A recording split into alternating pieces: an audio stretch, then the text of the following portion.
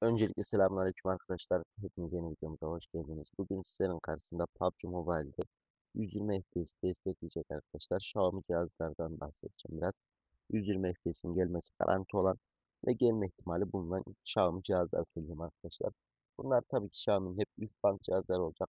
Şimdi Xiaomi'de şöyle bir algı var. Yani Xiaomi kullanan arkadaşlar da söyleyeyim biraz daha.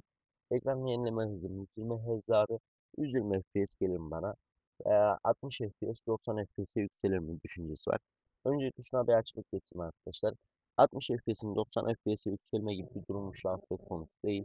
Veya 90 FPS'in direktmen 120 olacağına göre de böyle bir konuşma yani söz konusu değil. Veya 45 FPS'ler 60 FPS olacak diye konuşma dönüyor. Öyle bir konuşma şu anlık söz konusu değil arkadaşlar. Bunu baştan belirtmiş olayım. Şimdi de 120 Hz veren cihazları saymaya kalkarsak Xiaomi'de 80-90'a yakın cihaz var arkadaşlar 120 Hz aralığında. Yani 80-90 taneye yakın bildiğim cihaz var toplamda 120 Hz ekran yenileme hızı olan. Ama bunların içerisinde 120 FPS destekleyebilecek biraz daha iş donanımlar olan cihaz sayısı daha az arkadaşlar. Şimdi gelme ihtimalinin yüksek olduğu cihazları söylersem arkadaşlar.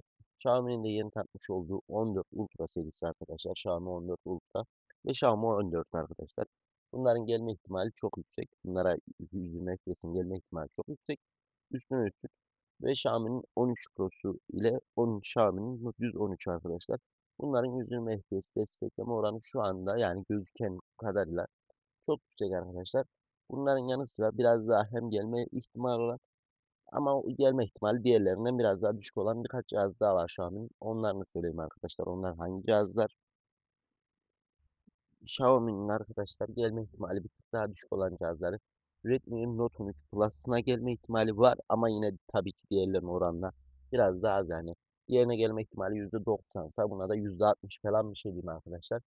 Note 13 Pro Plus, Redmi Note 13 Pro Plus ve Redmi Note 13 Pro arkadaşlar. Bunlara gelme ihtimali bayağı yine yüksek cihazlar içerisinde. Yine Redmi Note 12, Redmi demişim çok, çok kusura bakmayın. Şu an 12 Pro'suna gelme ihtimali içerisinde olan cihazlardan arkadaşlar. Ve son giderken şöyle bir cihaz daha söyleyeyim. Buna da gelme ihtimali var.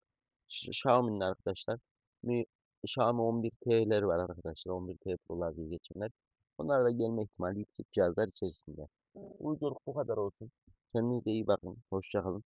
Kanalımıza hala abone değilseniz abone olup bildirimleri açıp bizi desteklerseniz bu yolda çok teşekkür ederim bütün bu söylediklerimi yapanlara. Yapmayanlar da yine canı sağ olsun. Kendinize iyi bakın. Hoşçakalın.